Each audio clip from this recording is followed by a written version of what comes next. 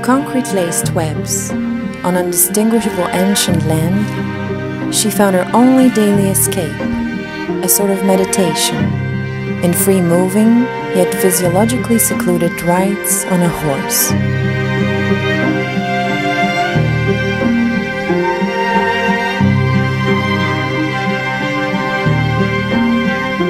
She had not consciously realized the immensity of her desire to be with the trees, to be in the forest where real home is.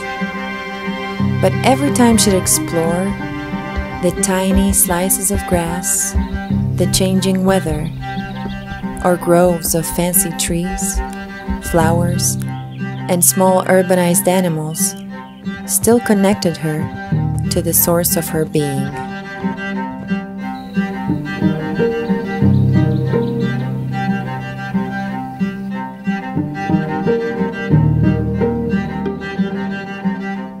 Gloom, however, cast it over her, until, after much life change of situation, worse before it got better, she connected with her own consciousness and regarded nature as her ultimate comforter and path.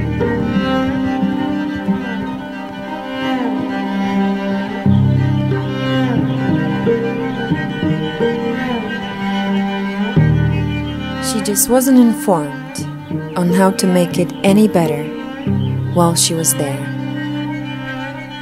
From the realization of great practices such as meditation, she has raised her awareness, improved cognition, and freed her spirit simultaneously from mental and even physical limitations.